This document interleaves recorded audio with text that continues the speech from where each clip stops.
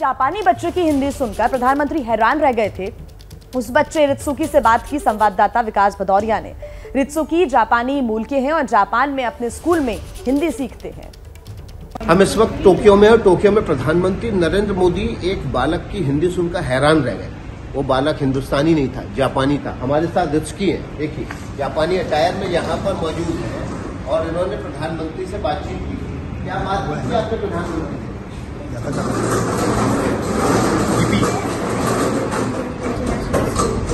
आज मैं बच्चे में पढ़ता हूँ।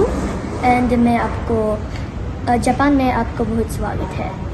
लाइन्स और ये क्या लिख कर रहा है आप? मेरा मित्र okay can you read this okay आजीवन प्रधानमंत्री मोदी जी ये हमारे लिए सम्मान की बात है कि हमें जापान में आपका स्वागत करने को मौका मिला।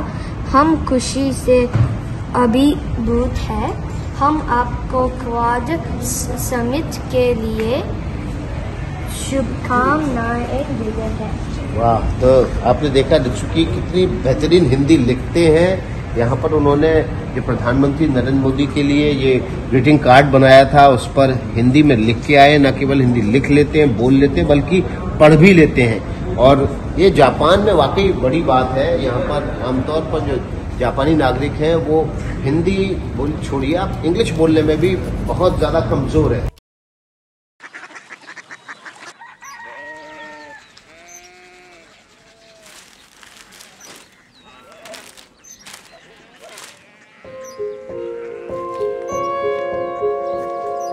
बाबा बाबा Korea C city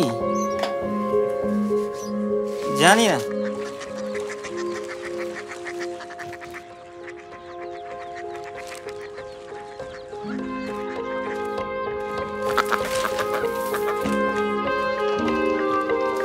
Korea city?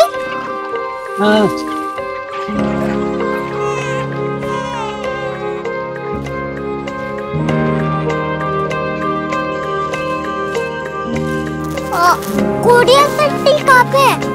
शहर अंग्रेज़ी लगे हैं।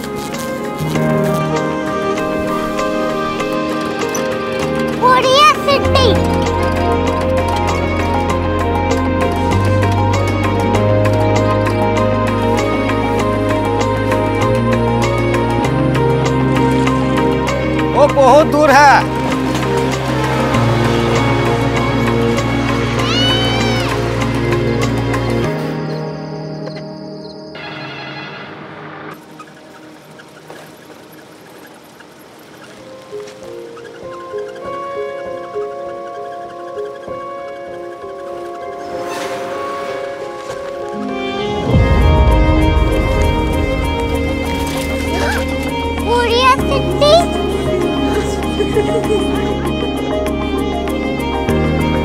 दुनिया को कुछ लोग बड़े होते हैं। कोरिया सिटी कहाँ है? प्रोफेसर साहब को पता होगा।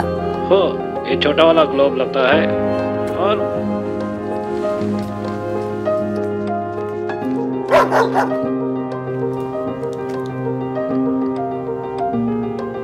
पता नहीं मेरी बेटी से जाके मिल लो शायद उसे मालूम हो।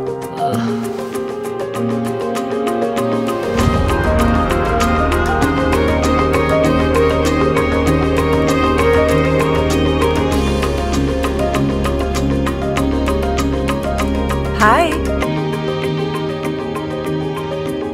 बाबा ने भेजा है। Come here Korea city Korea city नहीं। क्यूरियोसिटी वो क्या? That's what brought you here जो तुम्हें यहाँ तक ले आया। क्यूरियोसिटी